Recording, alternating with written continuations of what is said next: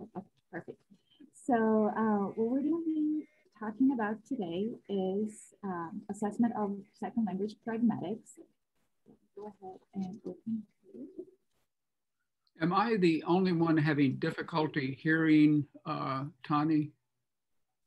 I think me too. It's not as clear as it is like every time. Yes, it's not, you're not coming through clearly. That is odd. I don't have any problems. It's fine.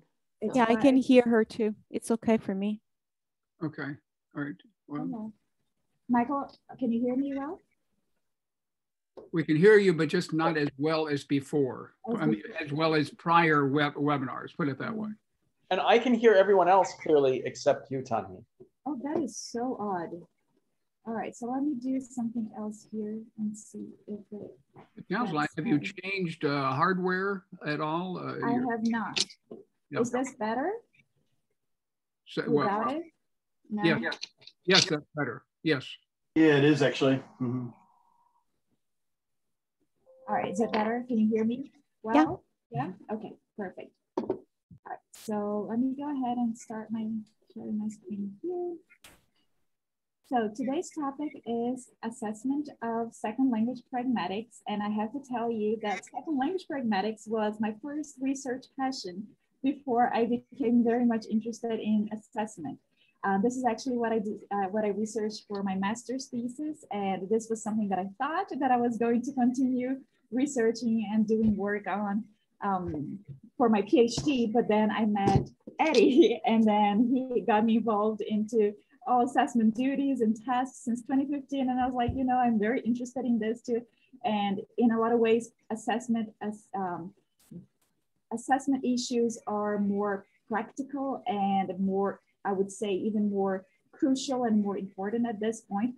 Of course, second language pragmatics is important, and I'm going to advocate for it as well. But I think there was a greater need in terms of assessment uh, knowledge and application. And so I decided to focus on that for my um, PhD.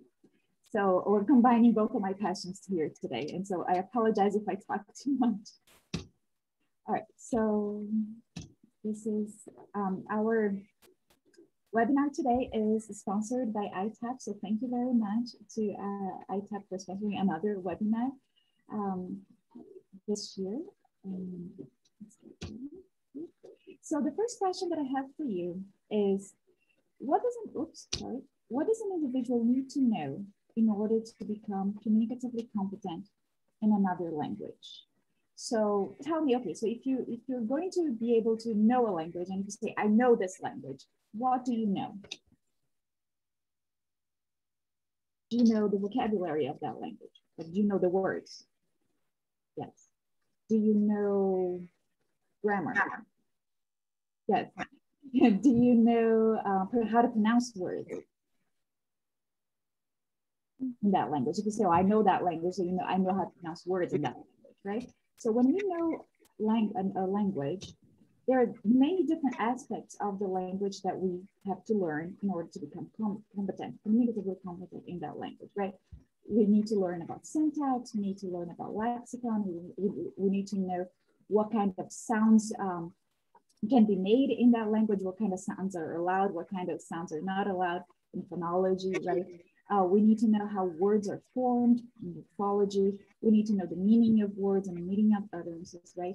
Um, and so if we put all this together and then we can say that we are in our way to knowing a language and to be able to use a language, right?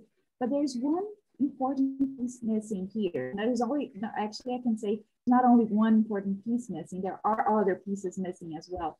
But if we look at the basics, then we have this, and then we have one more piece missing in this puzzle, right?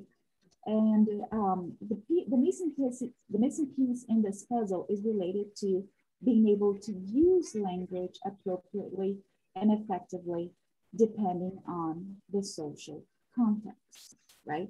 So it's not enough to know how to beautifully pronounce words or how to put words together and construct grammatically correct sentences, right? If we don't know how to use these, um, this knowledge appropriately within the context, within the social context, then the knowledge, uh, we're not gonna be effective communicators in that target language, right? Um, and it's important to think about the social context because we change how and what we say depending on who it is that we're talking to or writing to and our relationship to them. So the way that I talk to Maddie as my friend is different the way that I talk to a colleague at work, right? Or is it different from the way that I talk to my boss, right? Where and when the communication is taking place, right? And I'm, if I'm talking to my boss outside of work, am I talking about um, when I'm talking to them, right? Our purpose in communicating, how much we want to share with that person, our attitude and emotional state at the time, and the impression we want to give of ourselves. So we change how we say things and what we say things depending on all of these. And these factors affect the way we say the, the things, right? They affect the amount we're going to say. They may affect how direct we are. We may not say exactly what we feel. We may lie or be dishonest or omit things. Our language may be more formal or more casual and we may be vague or we may be deliberately unclear, right? So the social context of the situation affects how we say things, what we say things, and how, what we're doing with when we're saying, right? And I have to make a pause here and say that when I first moved to the US and I was a student, um, and I had to do start, and I started as a graduate teaching assistant, and I was writing emails in English um, to my coworkers and receiving emails from my boss, I always felt horrible because I always thought that people were being so rude to me when they were just being objective in English and nobody was saying hugs at the end or nobody saying, Hi, how are you in an email. And I was expecting that um, coming from a Portuguese language background. And so I thought that people were being, that I had done something wrong, that I was like, oh, like, am I in trouble here? Or, or people were just being uh, rude or you know that they didn't have time to talk to me or something like that so i was my pragmatic ability in the workplace when i first came to the us had a, a, a very big mismatch with what i was expecting that would happen right? And this has to do with pragmatically being pragmatically competent um, so in order to be communicatively competent in another language, right, to be able to comprehend and produce meaning appropriately, we need to be able to learn and teach our students pragmatics, right? The way we use, in which we use language in context. Language is a social interaction, is a social phenomenon. You have this co-construct meaning, right? And so we, we cannot just take language as being something completely separate from the social context, from where the language is going to be used. Right? So when we know a language, the missing piece of my puzzle in the beginning was pragmatics, right? To use language in the ability to use language uh, appropriately in a social context. The ability to know what to say, where, when, and how, to whom. Right? Um, and I think it's funny because I, have seen this a lot in the literature too. And when I teach pragmatics to my students, they say, teacher, but these are like secret rules of language. Like nobody has taught us this before. Um, or where, where are those unwritten rules? Like, like where can I find those rules? Because they're usually not to be found in textbooks, right? When we're talking about um, uh, maybe like politeness or implied meaning. You don't really see those in our common language textbooks, right? And so students often refer to pragmatics as, oh, the secret rules of language or the unwritten rules of language. And how do we learn those, right? And how do we, and then again, how do we teach and how do we assess those things, those rules? Does anyone know where we keep the unwritten rules by any chance? Sorry? Does anyone know where we keep the unwritten rules, those secret rules? Where are they? Where are they hidden? Well, uh, they must be in our heads uh, since they're unwritten. in our heads. So, is, what do you mean by in our heads? Do you mean like native speaker heads, non-native speaker heads? No, in, in, in the native speaker's head. Native speaker's head. All right, so let's keep going here and then we'll, we'll figure it out.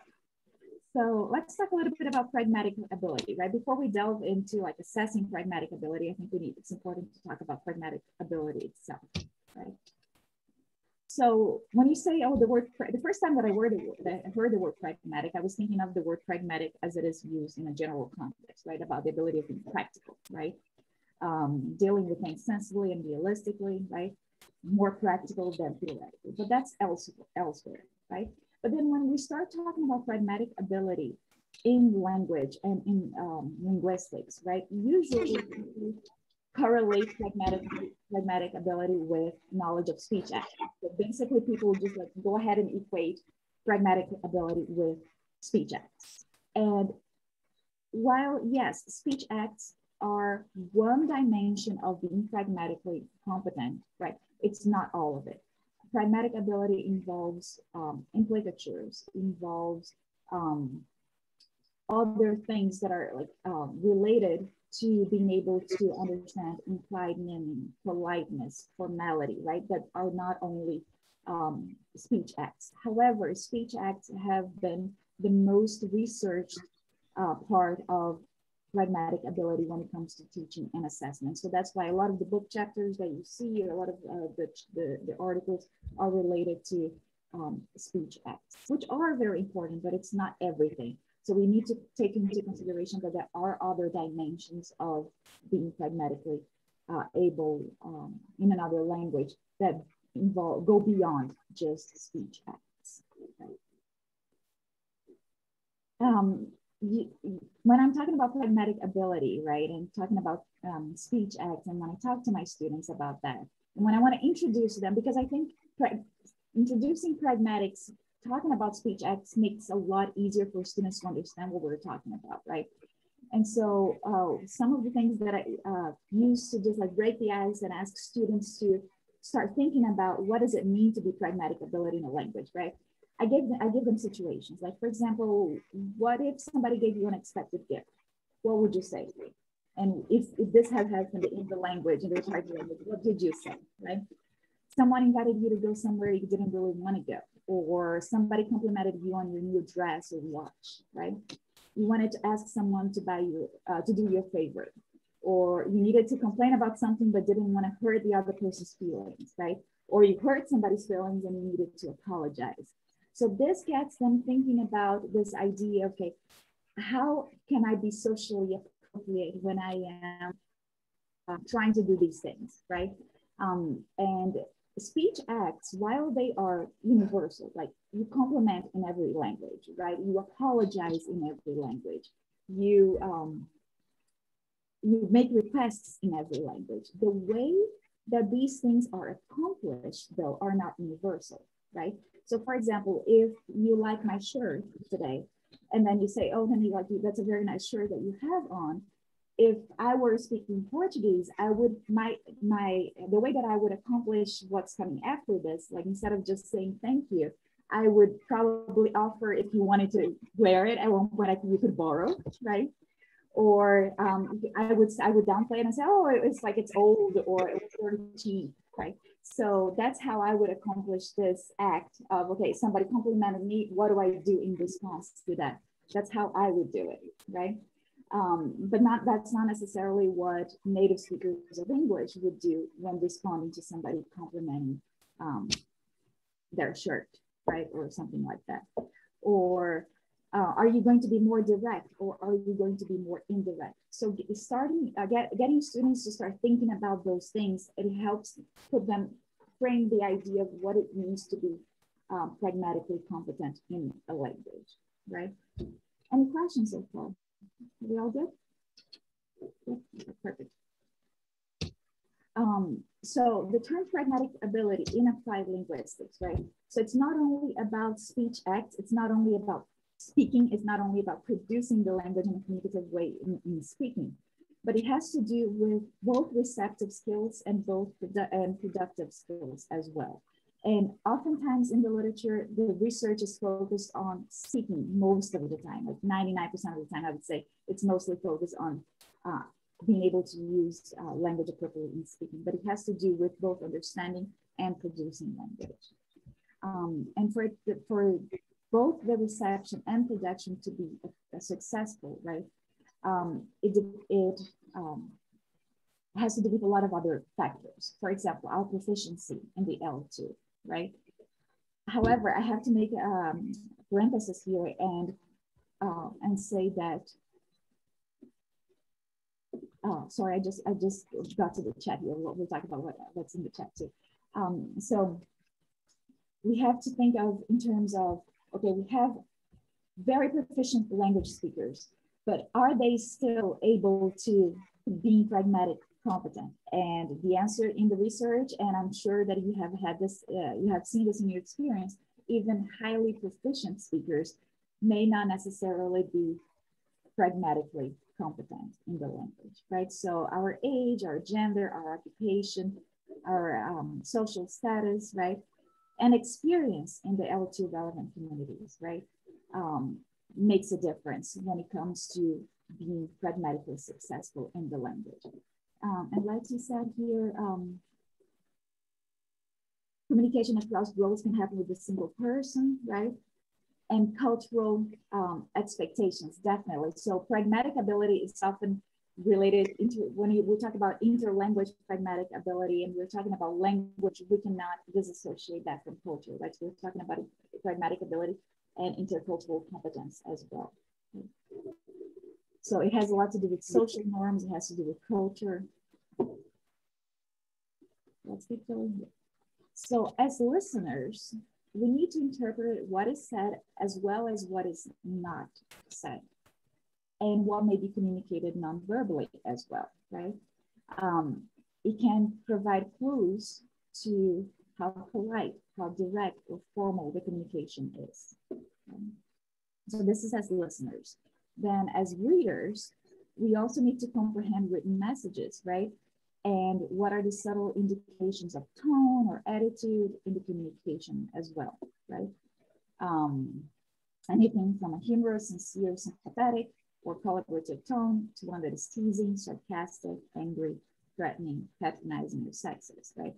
I still have a lot of trouble like with sarcasm in English. You know, like sometimes it just doesn't translate to me as well as it should um, that speakers need to know how to say what we want to say with the proper politeness, directness, and formality, and know what not to say at all and what to communicate non-verbally.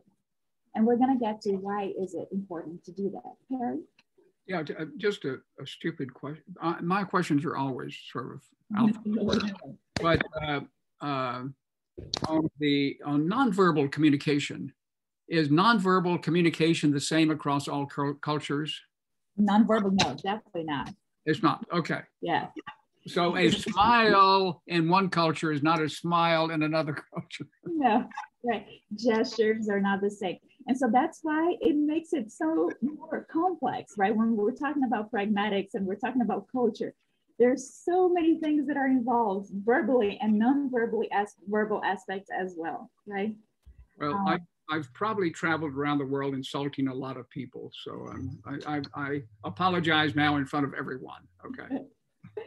and so, and, and that's exactly what we're going to get at. The problem with not being aware of this difference, right, is that um, non-native speakers can be perceived as rude when they are not trying to be rude, right? And actually, I have to tell you what actually made me start thinking about pragmatics back in 2010 uh, when I started my master's, or 2009, but this happened in 2010. I was in the office um, in our English language center, and one student asked the receptionist that he wanted to use the staple.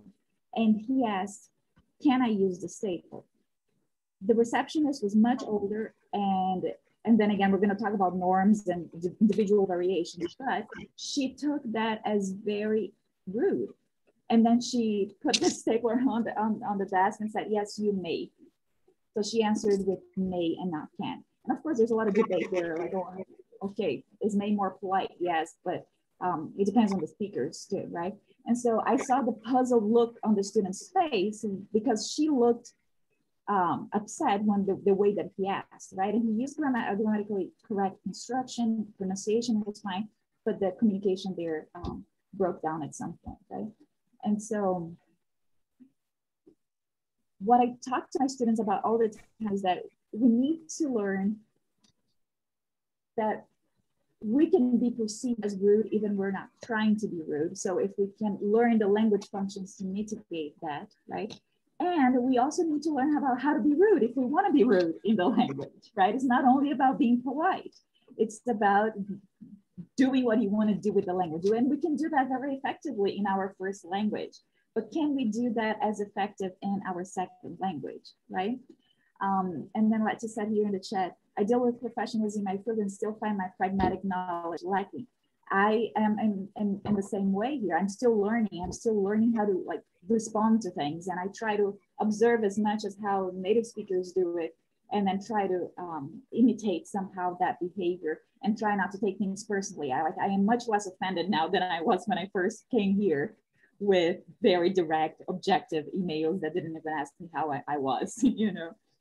Um, but and Jenny, can I say something? I feel also it's not sometimes just about pragmatics, it's also personality because with every person we've interact, now there is this add-on of the person, it's himself or herself. And then so now what may seem nice and polite for somebody else, maybe it's different for this person. So it adds a whole layer of complexity. So I don't think we're ever gonna get this down. and so can you think about assessing this objective? Exactly. right, we're going to get there and it just, just becomes very complicated. But is there a place for assessment and for teaching? Well, for teaching first and of assessment, yes, there is a place for that. But how do we accomplish that, right? Um, so let's keep going here so we can discuss these issues and see what ideas we can come up with. All right, let's keep going here.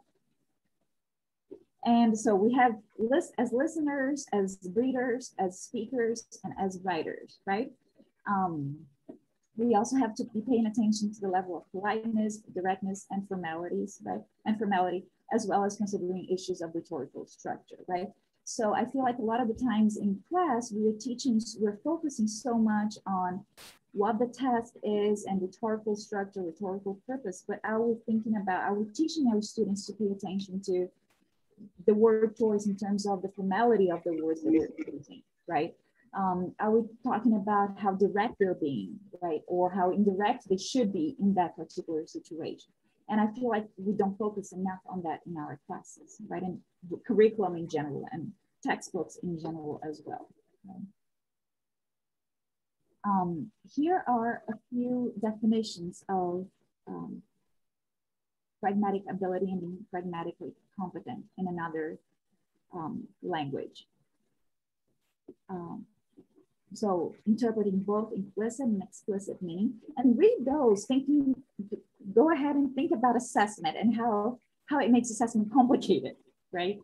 If we know everything that we know about assessment and about being uh, all the cornerstones of testing, you know, being transparent, being practical, being uh, creating reliable and valid assessment. So think about how this adds to the task of assessing. Okay? Um, it deals with language use, language users, and language use settings. So if you think about creating tasks and you're thinking about different users and what kind of information you have to give to your test taker to make sure that they understand what the setting is, right? So think about that. And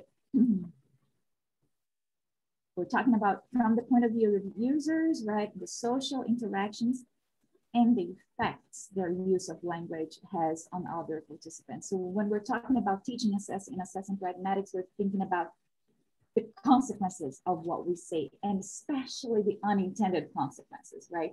Because unintended consequences, when we use the language, it may be for it, it may, and we're gonna get there, it may make somebody less prone to help you because they think that they perceive you as being rude because of how you said things, even if you didn't mean to sound rude or you didn't mean to sound imposing, right? And so it may affect how much a teacher wants to help you, right? Teachers are people too, and we get we are affected by how people say things to us. And I have a few examples here to, to share with you today. So what is big deal, right? Well, the big deal is that second language learners relay the pragmatic knowledge that they have in their first language to the pragmatics of the target language community. Sometimes it works, sometimes it doesn't. Sometimes it's transferable, sometimes it is not transferable, okay? So what do you think? Let me give you an example here. A student writes you an email and says, please review the draft and reply me through email by the end of the weekend. I never get those emails. You get those emails? All the time. Right? It's aggressive, assertive. Uh-huh. So the student is very likely to come across as rude due to the deadline imposition, right? Even though the grammatical structure of the sentence is correct. The professor may also be less willing to give thorough feedback overall based on a judgment of the student's poor use of language in the sense that he or she violated the professor's expectations of such type of interaction, right? Even if just, unconsciously oh, speaking. Eric? Sorry, I just want to jump in because I um I see so many of these and um I, when I saw this first, and I, I mean nothing bad by this, but I want to say which part of China is the student from? Because it's like a, I can see the direct translation with my knowledge of Chinese, or I'm guessing very much it likely is number one. And number two, we discussed this in a class just a few weeks ago and said, and the student's response to something exactly like this was, but I said, please. exactly. So they think that they're being polite, right? And they're just maybe it's transferred. Maybe it's totally fine to say that in Chinese to be that direct to your professor, but it's not in English, right? And then as as teachers, if even if unconsciously, even if we don't want to, right? We may end up being less willing to help that person, right? Because the interaction didn't go as we thought that it, it should have gone, right? And that's the also important the importance of talking about pragmatics to language teachers too and to anybody who's interacting basically with non-native speakers because a lot of um, a lot of things can be misinterpreted because of a pragmatic failure, right? Other examples. Have you ever heard something similar? Teacher, you didn't. You didn't give me the homework assignment. So that's why I didn't do it. Course I gave you the homework assignment. I gave everybody the homework assignment, right? It's not that I chose not to give it to you or you need to play the listening one more time. I wasn't able to finish the exercise just by listening to the recording three times, right? You need to, the imposition here. Or this one, real, real email that I received.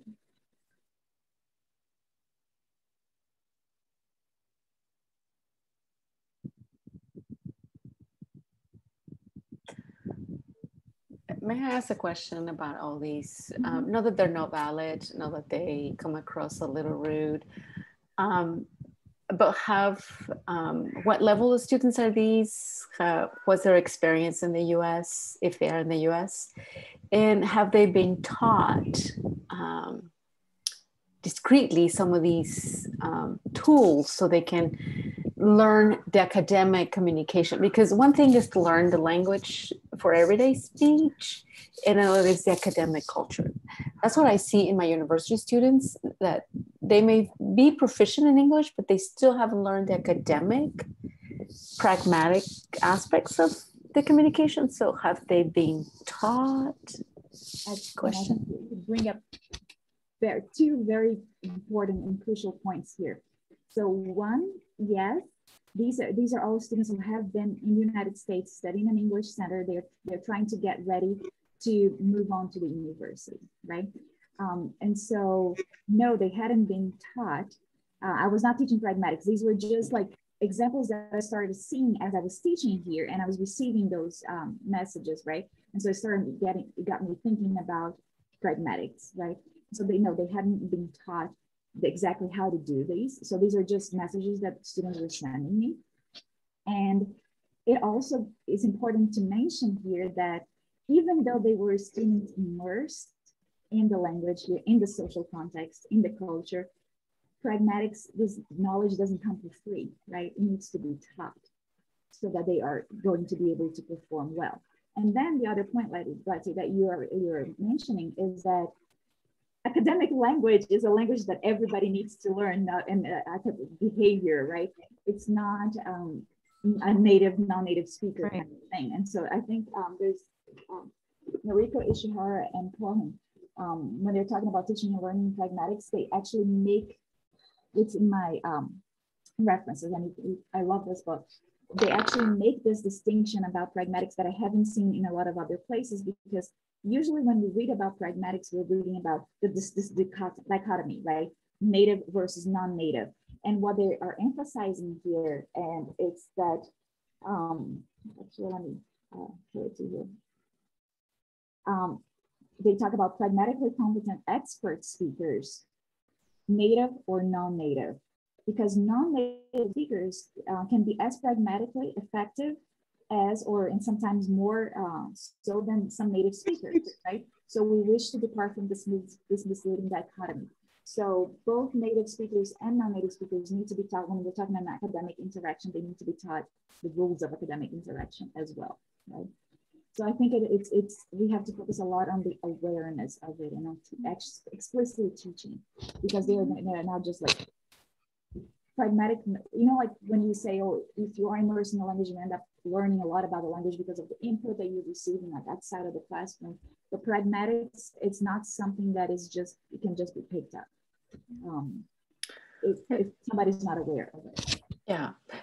And if I may add, I have taught native speakers as well, and I can hear some native speakers saying that to me as well. Um, and so sometimes my non native speakers start modeling or i mean um, replicating what they hear because american students are more direct and they're taught to express their opinions and directly and you know and some non-natives may may have that respect for the academic setting a little bit differently but when they start listening to this they start imitating it and they may come out wrong. Mm-hmm. So a lot of influence there. Another layer of complexity. Yes, definitely. Any other thoughts about this?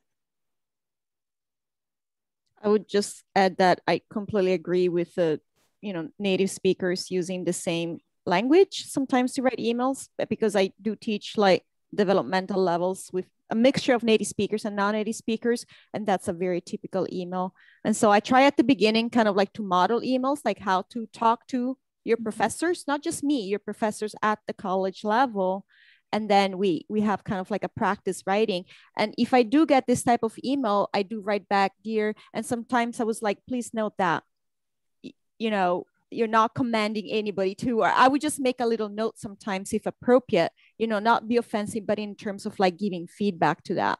And i also sometimes try to emphasize that when i give feedback to them and this is just specifically writing they never come across anything negative. So if their emails carry negative meanings i would i kind of just like this is not the feedback you're getting. So we're trying to communicate at the same level.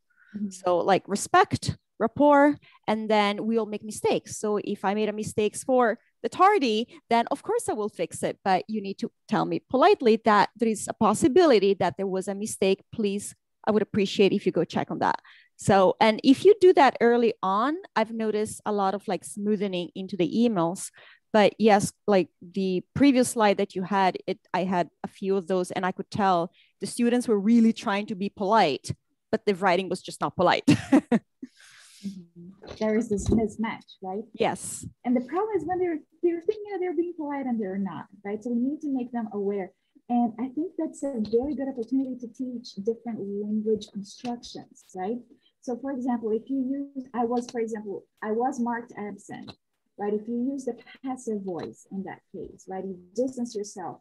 Or if you use the simple past to make a request, right? You're distancing yourself as well. It's teaching the students about the language and teaching students about grammar and teaching students about other ways of communicating something to um, accomplish what they need to accomplish with that within that interaction right so i think it's a, it's a it's a it's a great opportunity to teach grammar to teach other things as well as pragmatics right and teaching them how they are being perceived when they write something or when they say something yeah uh, uh, go ahead perry no, no, no, no. Oh, please. No. I, I, was just going to say, from an AI standpoint, uh, grading written material such as this using artificial intelligence makes it quite difficult to come up with a a good score. I mean, a, a, a, a, a proper score, I should say. Mm-hmm. So that, I, I was just mention, just wanted to mention that. Uh, so Abdul Samad, you're. Oh, you're, yeah. oh, thank you so much. So uh, I, I agree with all of what we are discussing and saying. And also, I, I see those emails as a moment for me for teaching and the moments for the students for learning. Mm-hmm. And even like when I approach uh, the idea, I would approach uh, the idea in the class in general sense. If I got like such an email, I would uh, get any identification like information and I would get that sentence which changed the dynamic of the email and made it sound differently. Mm-hmm. And bring that to the class and saying, so guys, and that's I think what in a way or another is a good position for me as a non-native speaker of English, saying, you know, guys, I learned English like you. So now I let them feel safe. And that even like that student who would at the end like see the sentence or his sentence or their sentence doesn't feel intimidated. Oh, so I'm not passing this class. So th that comes to the student's mind. So, and I would say, I'm like you, I learned English. English is not my first language, but also there is the politeness in writing emails. I know. So they even feel I am, I, am not having the defensive sense and I'm not upset rather than celebrating the mistake. It happens, let's learn together. So when they start feeling safe, even if they make more mistakes, they start feeling they are more learning moments rather than intimidating moments to feel, oh no, I, I messed up. Mm-hmm. So I think also like the the way I I try to treat and deal with those things in the classroom, even like distancing myself in the class. So the, the student doesn't even feel I was like offended in any way, but I, I would bring that. So if that's read by a professor, that's mm-hmm. that's being understood differently. Mm-hmm. So that helps them and me to teach and they help them to understand. And I, I really appreciate what you said about the awareness, but also the more practice they even if uh, they practice like one or two times in the class it's out of their mind now like off their minds and that might happen again. But the idea of like cycling again i think helps a lot in from my experience as a learner and as a teacher. Thank you. Sorry I, I, I took like longer time. No you're fine you're fine. And i was thinking here as you were saying like even as a native speaker, like Terry was saying, I, I, I, was probably rude and I didn't know that I was being rude. You can give examples too if you speak other languages, right? And, and you start thinking, right? Oh, should I have been more polite or should I have been more direct, right? Um, and so why is it important, right? Because there is this failure to perceive this mismatch, right? And so we need to bring awareness. Um, and also because of cross-cultural miscommunication and cultural stereotyping as well, right? And the fact that a learner's grammatical competence doesn't it doesn't mean that if they have high grammatical competence doesn't mean that they have high pragmatic competence right? And so we need to be able to um, teach and tell our students who are more grammatical competent or more proficient in the language if we put it that way. They also need to learn about pragmatics right? It's not only the lower levels However, the ones that are more proficient in the language, they have more language structures in their bag of knowledge of the language that they can deploy depending on the situation. So they would be probably more effective because of that, right? Uh, Tani, let me ask you, does, does language assessment, uh, I don't think, just my experience is language assessment doesn't test pragmatic competence. So it's very rare to see testing yeah. of pragmatic competence, and we're going to see that. Mm-hmm. And I think it should. I think even like standardized tests should test pragmatic competence as well. Like if you think about the TOEFL and they're trying to test their people's ability to come to the United States and do research and do work and study, I think pragmatic ability is a component, right? But because it is so subjective and there's so many different things that we're going to look at too here, that it's um, it becomes hard to score objectively, right? And so I think that's why it's not actually assessed. Um, the other thing too is the speakers act well when they are pragmatically successful. Grammar and other language mistakes are generally overlooked, right? Um, so I think that's that's an important uh, asset as well. So is the goal of learning pragmatics learning how to be polite in the L2? And we already talked a little bit about that. Definitely not, right? The goal of teaching um, pragmatics is to learn the linguistic tools so you can say and convey what you mean, right? If you want to be strong, if you want to be direct, if you want to be vague, right? You can, if you want to vary the, vary the degree of formality of your language, choose what to say and not to say. So as teachers, our responsibility is to give the students the linguistic tools and tell them, okay, this, this, if you if you're saying this, then this is what's happening. If you're saying that, this is what happened. This what's happening, right?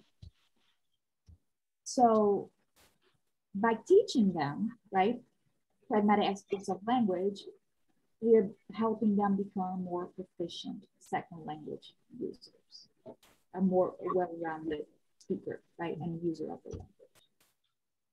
And here's something that I've talked about already about the relationship between grammatical competence and pragmatic competence, right?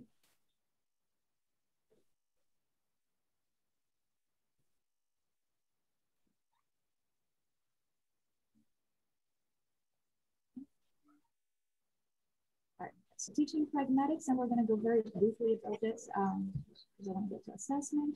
Um, so like Letty was talking about before, it's like SL learners do not just acquire pragmatics for free. It's not something that just happens without any help. Um, and direct instruction can effectively, and this is proved by research, right? Help ESL learners develop their pragmatic competence. And we can expand this to native speakers as well, depending on the context, right? Um, so how can it be taught? And so let's think about how it can be taught and how it can be assessed, right? Um, and if you're teaching with those tasks, you can assess with those tasks as well. So it's important to raise students' awareness of pragmatic differences across languages, right? So you can involve students in discussions in which they learn to explain why, when, and how, and where certain linguistic structures are preferred over others. So like, for example, um, like I said, the passive voice. I was marked absent versus you marked me absent, right? So which one is stronger? Which one is more preferable in this situation? Um, have students interpret the input they hear in actual comprehension. So what does this mean, right? How is this used? What does a speaker who says this hope to accomplish, right? Um, and ask them to match utterances with contexts in which they are appropriate, right? And this can all be transferred into a test as well. so basically here it's talking about language, right? And talking about the intended use of the language and why we're doing this. Why is the speaker saying this? What is he trying to accomplish with this? Um, recognize pragmatic infelicities, right? Like for example, the emails that I showed you, right? So students can, it can become from examples from them. You can be, it can be some scenarios that you can create yourself, listening activities, written situations. And of course, you have comprehension, recognition, and production, right? So ask them to supply some speech acts and semantic formulas, like what would be best to say in this case, right? You give them the situations and what would be best, right? Can you now, can you vary the degree of formality? Like, okay, so if you're asking this, if you're making this request to your boss, how would you say it? If you're making this request to a friend, how would you say it? And I often like students say, oh, I would just like, give me this, right? As opposed to, could you please give me that? Or would you mind, right? So, and then after that, discuss perceptions of the language um, and speakers of that language based on the choices that they make, right? And make conscious choices. I think that's the most important thing you're, you're teaching your students to make conscious choices about the language, right? And so let's talk about assessing specifically, right? So would you agree with this, that the purpose of assessing L2 pragmatics is to test L2 use in real world settings, in real world context? What do, what do you think? Yes. You think, you think so, Mike? I do. Everybody else? Yeah. So we're thinking about real world authentic. So we're thinking about assessment, we're thinking about authentic assessment, right? We cannot just like get have chunks of language separated from a context, right? And that creates a lot of other things to think about uh, when we're thinking about assessment, right? Um, and why do we need to assess? We're teaching, but why do we need to assess students? Well, it sends a message to the students that their ability to be pragmatically appropriate is valued or even advantages, right? Remember, like if you're teaching something and you're not assessing it, you may be sending a message, whatever it is, whatever topic it is. If you teach something and you don't assess it, if you don't bring that into a closure with an assessment, you're sending a message to the students that that may not be important. They don't need to focus on that because they relate, okay, it's, is this going to be on the test? If it's not going to be on the test, I'm not going to worry about it, right? That's usually the mentality. It shouldn't be, but it's usually the mentality. And it also gives an opportunity to see the relative control their students have in what may at times be a high stakes area for L2 performance, like getting a job, like an interview or something like that. So it is uh, an important area of performance in the target language, right? Communicating with the professor and so on and so forth. I mean, this fits really well. Like imagine that they're doing like a role play or they're doing a discussions that they have questions. There needs to be like turn talking and, you know, agreeing or disagreeing. So that's where it comes out. So it's not mm-hmm. about what they say, but how they say so they don't, you know, make an argument or being rude because that's, I mean, we help students to function within like with other people within society. So if that is not accomplished, then it's just like here is a book just do it by yourself and just you know repeat those words and you'll be fine. Mm-hmm. so that's i mean i think that it's part of the whole package basically. Exactly. And if, if you think about it in a workplace you're not only in academic settings right? You're right. discussing with with your colleagues. You're going to be in projects right? And if you are rude disagree oh, i completely disagree with you or something like that. You know, right. You're not teaching ways of students to do that right? It's that's important as well so when we are assessing, you, we want to include productive and receptive skills. And tasks, of course, will measure comprehension and tasks that will measure production.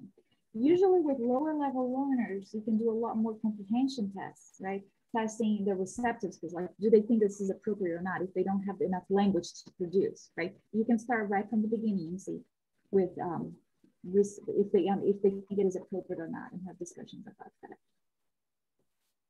So measuring comprehension, you're requiring learners to judge somebody else's language, right?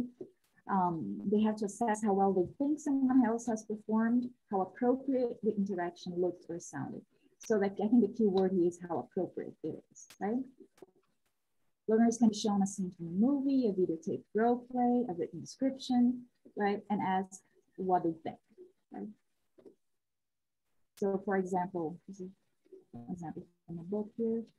Uh, you give a, a, little bit of a context. The class assignment is due. Hassan hasn't finished yet. He wants to ask his teacher for an extension, right? I cannot finish the assignment. Can I finish and bring it to your office tomorrow? And then you, uh, uh, you indicate with an X how you would rate the appropriateness. And then we have to talk about this, like what may be appropriate for somebody may not be appropriate for another person. So we have to think about that when we are assessing, right?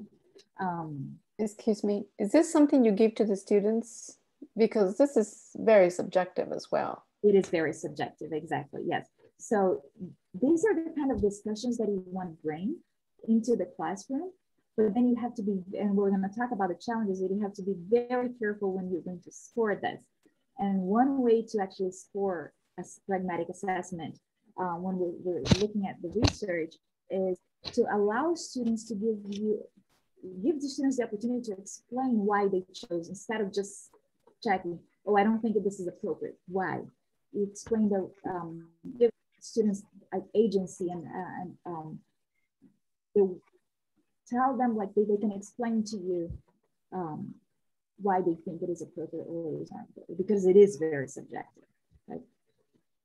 Another thing also with the example uh, that mm -hmm. if I might change, is the student name because a, stu a student name can entail a culture. So I would just put student or a teacher or a student and a peer. So in that way, so no culture is in any way entitled or included. uh, because then we think about cultural uh, stereotyping, right? Exactly. Yeah, uh, uh, Abdul, yeah, we would assume Hassan is being uh, very pushy. You know that. oh, and they don't take yes, right? Or, or no for an answer. and then you would have to measure production, right? How well they produce, right? And this can go from more controlled or more extended language production, right? Those Discourse completion tasks are very much used when you're talking about uh, assessing or and teaching pragmatics. For example, like this, right? Um, and you give a scenario and then you ask the students to say what they would say, right? So your professor was giving a very complicated lecture and he didn't do the reading beforehand, so he had a hard time understanding it. You go up to him after class to ask for clarification on key points, right?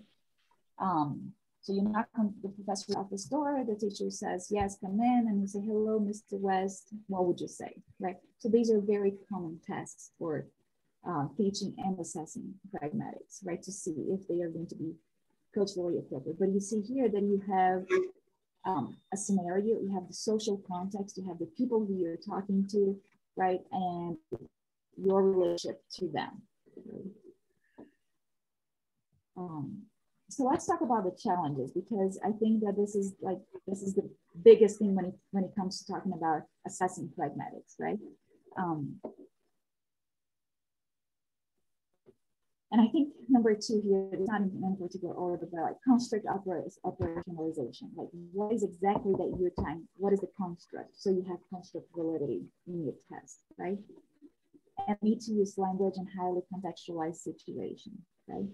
um, traditional ways of testing often reflect past models of teaching and learning. So even though we may be moving forward with our teaching, a lot of the times our testing it does not conform to our teaching, right? In terms of what we believe language ability is, right? So if you, for example, if you believe that language is socially constructed, right, and you give a, a test that is just fill in the blanks with uh, sentences that are not connected to each other, there's no scenario, there's nothing, then you're testing in a way that is different from what your beliefs are about what what it means to know a language and to be able to use it, right? And if you're using, for example, um, that the conceptualized instances of pragmatic use too. So it has the, the social context is very important. And that what it, it's a lot of words here, but what, is, what I wanted to focus on is that keeping a pragmatics test practical in terms of designing, scoring, and administrations quite challenging, right? And that goes back to what we were saying. Implied meaning and social appropriateness of a certain linguistic choice can be very subjective, very context dependent. Learners need to be provided with enough context to be able to judge whether a particular response is adequate or not. The same is true for scoring the student's response, right? You have to have a lot of creativity and thinking on the part of the teacher to develop just one item, right? And the teacher may still fail to provide enough context. And the student may interpret the item in a completely different way than you thought they would interpret the item, right? And without a way to explain to the teacher what his or her thought process was, it may be hard to judge, right? So there's a lot that it goes into creating a fair, reliable, and valid assessment of pragmatic, right? Tani, I think uh, commercially, the reason you have not seen it is mm-hmm. uh, that I don't think uh, commercial companies such as mine could figure out how to sell it, even though we, we could say it's very important. I could say, uh, you know, the for example, a TOEIC, and we have a, a, my company has a business test too, but it doesn't include uh, doesn't include pragmatics. Mm-hmm. Uh, I can assure you, and I think it's very important. I think you've made a great case for it, but it, no matter how important I think it is, I don't know how I would sell it to the marketplace. Mm-hmm. You know, you know, I probably wouldn't do it, even though it's important. Right? Hmm? It's very subjective. The norms the language vary, right? So should it be included in standardized tests or should it only be part of the classroom? Yeah. That's yeah. that we need to have as well, right? Yeah. Um, norms vary, right? To a healthy degree, right? It's a norm, not a rule. Um, so we should always be encouraging our learners to discuss where they're coming from when we're teaching and assessing. Um, and then before we assess, then we need to further understand what is that, what it is that it should be taught, right? Are we focusing on speech acts? Are we focusing on implicatures? Are we focusing on politeness, um, degrees of formality, right? Because then we can define the content and we have we can have content and construct validity, right? If, because then we may be testing something that we are not aiming to test. So we need to be um, taking take that into consideration. Teachers need to be educated as well and being explicitly taught, which is not always the case in a lot of master's programs, PhD programs. We are not often exposed to this, right? And then lack of this type of knowledge about pragmatics and language assessment literacy may lead to avoid uh, to avoidance of testing those aspects of language use, so they can go hand in hand. But teaching and assessing pragmatics can increase students' confidence in using the target language and can engage students in the process of learning other linguistic features and forms to perform different language functions. So do I advocate for it? Yes, I strongly advocate for teaching pragmatics, raising the students' awareness and bringing that into your classroom in the form of teaching and in the form of assessment. But if we're doing assessment, then we have to be very careful to make sure that we are being fair, that we are testing what we meant to test. And also that another thing that is very important to bring up is that pragmatic knowledge may be learned elsewhere. You don't, you don't, the development of pragmatic knowledge in the target language is something that happens over time. And so it may be something, it may not, you may not be testing something that was actually taught. You may be testing something that a student actually knows already because it's a developmental process too. So we have to be very careful when it comes to assessing pragmatics. So I don't know, and I want to bring um, that to you. I don't know if um, we want to bring assessment of pragmatics in a summative way or something that would definitely impact their grades, or if we want to do more in terms of formative assessment in the classroom, because it's something that they need to learn, something that they need to know, right? But what do we want to do with that and how we're going to go about it, it also depends on how well we can construct these tests, right? Any other thoughts that you have?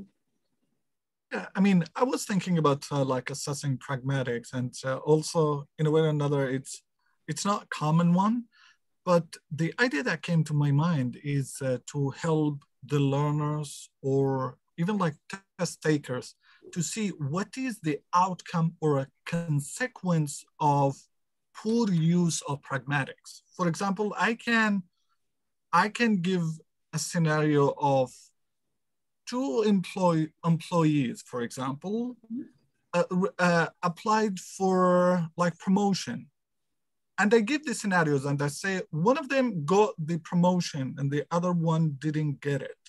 Why do you think so? Look for the keys in the language. So in this way, it's backward, a kind of a backward analysis rather than bottom up analysis. So they see, oh, why did that and then even like there will be a lot of claims oh maybe that person is working harder. Oh no actually they're both the same. So i try like a kind of narrowing the students focus or test takers to, i mean test takers it might be a little bit challenging but the learners aspect into it's in those sentences not out of it's not out of that. So in this way that I, I feel will help them to think, oh, okay, now I get it. That that like request was very direct. Ah, okay. So and then even like enhancing again the pragmatic aspect of the language in more outcome results consequences backward analysis mm-hmm. so you focus on the language aspect only right? Yeah. All, all, else is similar. Let's look at the language, right? And see. Definitely. Um, here. And so I wish we had more time to discuss about this, but uh, we don't. Uh, I think it's it, it brings a lot of discussion into both teaching and and the and the the role of teaching and the role of assessing pragmatics. There's a lot I saw here in the chat of like taking the turns or taking like learning how to take the floor, right? Is this part of pragmatics? You could say it is part of pragmatics as well. So I think there is definitely a place for it in the classroom. And it's definitely something that we should be teaching and assessing our students. But like I said, we need to think about it a lot more. And there a lot of more, a lot more research has to be done because I don't think there's enough research explaining exactly how to do it. Um, and it takes a lot of time. It takes a lot of creativity. It takes a lot of thinking. And then we go when we go back to teachers having a lot of time, that's not that's we don't right. We don't have a lot of time to create our assessments and to teach and to prepare our lesson plans. And so this adds a lot more uh, on the part of the teacher as well. So I hope you enjoyed um, today's webinar and please feel free to email me. I'm going to send you an email with more resources. If you have more ideas, and I know we didn't have a lot of time to discuss today, but if you do have more ideas and you want to start a thread in my email and talk about those things, I would love to hear what your thoughts are. And I'm going to, like I said, I'm going to share more resources as well. I would also once more like to thank, uh, thank iTEP um, for sponsoring our webinar today. And it's really interesting to see also the perspective of, okay, how do you sell? Like, how do you promote this aspect of language ability and bring that into standardized testing as well? Is this something that one we want to do? Is it something that we don't want to do because of many other reasons, including one of them is can we sell this and can we make people understand what this is, right? And so I think there's a lot of important discussions here and I wish we had tons of hours to talk about that. So please feel free to comment as well um, on, on, on the email and then bring your thoughts uh, into discussion as well. And thank you very much for joining today. Johnny, do you send the slides around to everyone? Uh, yes, mm -hmm. yes, I will send my slides as well. This is, this is really, uh, I found it very interesting, exciting. Uh, I've come up with uh, several things I might want to do my, with my company and I I must say it's an area that is has been overlooked and should not have been. And you brought this to at least to us who joined you, it brought it to our attention, and we thank you. I thank you for that. Okay. Thank you. And it's just something that I'm thinking about all the time. To like, how do you bring that into your tests? You know, I do want to bring like you have a whole test about assess the pragmatic, or do you want to do more, or do you want to include that into your own tests, right? So I think there, there's a lot of discussion there. So thank you very much. And I will fascinating stuff. Thank you. All right. Thank you, everybody. Bye. Pleasure. Bye. Bye. Thank you, Tanya. It was a pleasure. Yeah. I actually did my um, my master's dissertation was on Roever's um, test that he did on the computer. I did it on paper um, in Taiwan uh-huh. and with implicature and uh, which speech acts and a multiple choice test. And uh, I thought it was interesting also in Grabowski's article talking about um, you know, it's a problem is like with the fill in the blanks. I think it was actually like slide number 44. I just, I was looking at that one, but it was like the fill in the blanks kind of thing, like um, Roever's test. But the problem was you can get a lot of different answers that are okay. Mm-hmm. And then I was with my niece and nephew who niece just graduated from university. Nephew's a sophomore at university. A couple things they said, I was like, what, what? Like, you know, it's the, the new younger people language that, you know, folks like well, I say folks like me, I, I don't know what they're talking about necessarily, but it was probably a perfectly fine um, response pragmatically, but I didn't even know in my native language what they were talking about, Florida language or something of 20 year old surfers and uh, fishermen rather than like, you know, 50 year old dude that teaches students sort of thing. And, you know, anyway, but very fascinating. I'll, I'll be sure to, uh, I think back in January when you posted these, I was like, I can't wait till this one I'm a I'm a nerd when it comes to this. I'll see you later. Can I just make one comment? Oh, sure. Related to that, I was also thinking about something that some a teacher told me once. Depending on if you've had more female teachers of that target language and male teachers of that target language, oh. young teachers of the target language, older teachers, and then oh yeah like what are what are, what are you teaching your students you know as a female or as an older mm. person as a younger person you know what are you teaching at your age like your students right versus mm-hmm. what, what are people saying right definitely And then some people they sound okay. I, I sound like an old woman in that language because that's how I learned it, right? I, I learned my Chinese tones. My first teacher was female, and so her first tone was kind of a high one. So I was saying something like "hi," like that sort of equivalent in English. And it, finally, um, my wife at the time, my girlfriend, said, "You don't have to do it that way. You sound very strange." Like, oh, I get it. And um, another thing that I thought was with politeness is very interesting. Um, at family meals back when we, I was living in Taiwan, we would visit my, as a fiance or girlfriend, we were visiting my wife's family. And I would say, xie xie, thank you to my, um, to my wife's mother. But one day my wife said to me, like, don't say it as much because you're actually putting distance between you two. You're treating her like you would a waitress or some, or a waiter in the restaurant. And I'm like, I'm saying thanks to my mother-in-law or future mother-in-law. I think I'm doing the right thing. Instead, I'm pushing her away. It was too polite, or it seemed like too polite, but that taking it from your native language, as you well know as a non-native speaker of English, that's like really frustrating. You think I'm being polite to this person I want to impress. I'm doing the opposite. anyway, you can see how I feel about this too. yeah. Hey, Tani, do you do you know of any assessment exams that are out there that do this? No. Uh, because you know, I what I would see, uh, I'm talking to you. I wouldn't talk to the whole group about this, but mm-hmm. uh, I could see my company because uh, you can't sell it. I mean, no, you because nobody understands. They don't typically, but you can uh, you could put it. Uh, I we could put that in our tests that that's a giveaway. You know, that, you know, if you're a company and you're hiring uh, businessmen who are going to be doing business all over the world, mm.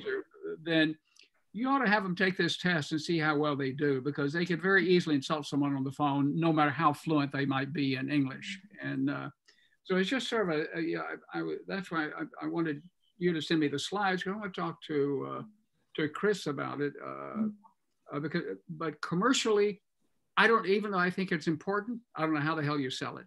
Mm-hmm. so. Mm-hmm and it, it, leaves a lot of room for people arguing. It's like, oh, I, I think this is appropriate. Even like native speakers can say, I think this is appropriate. I think this is appropriate. I think your answer. How do you objectively score something like that in a high stakes mm. test? Yeah, yeah. Standardized test, right? So I don't. I, as far as I know, I don't know any of any tests that actually directly assess pragmatics. Yeah. My colleague from uh, New Jersey outside of Philadelphia and I, growing up in the Midwest in a small resort town, we, we discussed some of this with the class about like what was some pragmatics and what was okay. And she's like, no, that's totally fine. I'm like, oh God, I would not do, I would not say something in that manner. But hmm. um, you know, Joy, Joyzy versus like you know Midwest, you know, you know, like Michigan, Minnesota, sort of you know aspects of way of looking at things. It's kind of yeah, even with native speakers. But anyway, I should say goodbye. But yeah. um, I got to get the kid to the baseball game. But great to talk to you both. All right, thank you. Very Bye. Much. Thank you very much. Yeah, Tani, thank you. It was very good, very interesting. Okay. Thank you. Bye, Sarah. I'm gonna send right now all, all the materials.